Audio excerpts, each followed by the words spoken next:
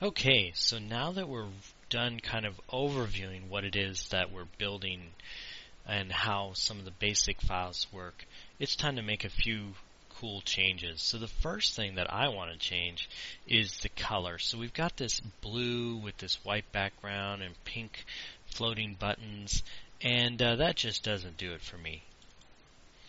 So if we go to our resources folder, our values, and we bring up colors, we have the color primary, color dark, and color accent. And what's really great is you see them over here on the side.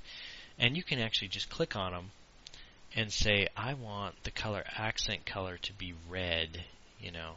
So you can just drag it over there, and there you go.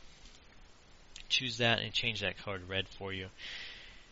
And we want, um, how about instead of blue, let's uh, let's go with um, Actually, let's go with red. Dark red here for that, and we'll go with a light red for this, and then we'll do our accent color actually in kind of an orange orange color. There we go.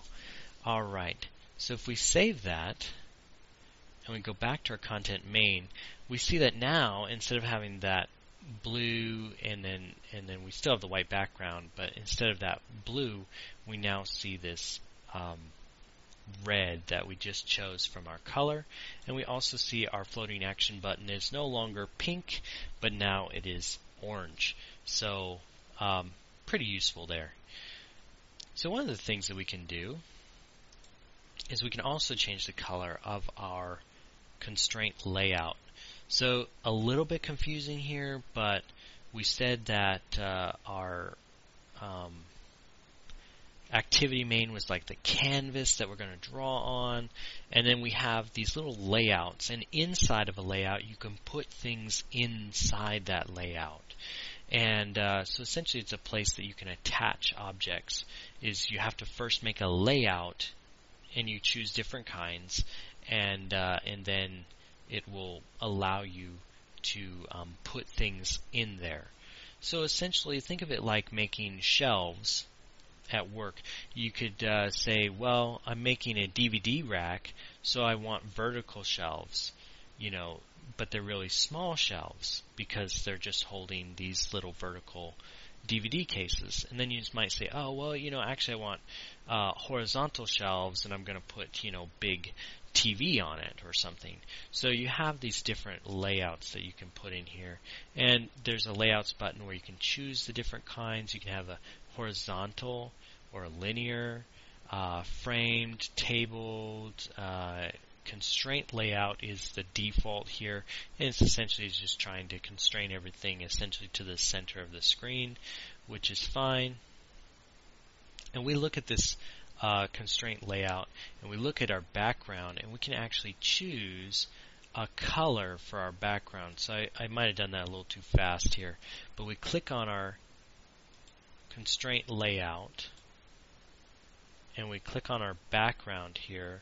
There's these three little dots. We can change the color to be um, what we want. And so we have the project colors the accent, the primary, the dark. We have the normal Android colors, and then you have theme attributes, which can get a little bit interesting. We're just trying to keep it basic here, and we say we want the uh, background to be uh, black. We'll go with that. Well, that's pretty dark looking. Alright, let's change that to be. How about. We'll just go with a darker gray. How about that? Alright, so we've got this dark gray. And, um, you know, it's not the best looking app, but I'm just trying to show you the basics of how we do what we want to do.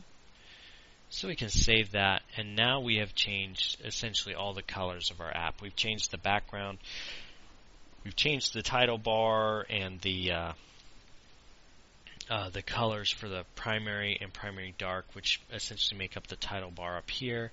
And then we've changed the accent color which changes the color of our button. And you know what? I think I'm going to go ahead and make that red as well. We'll uh, try to keep it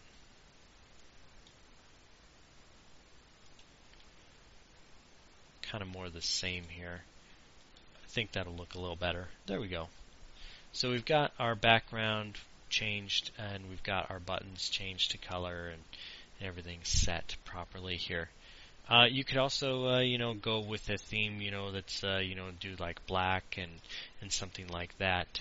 Um, but uh, just the basics of how we're changing the color for our application.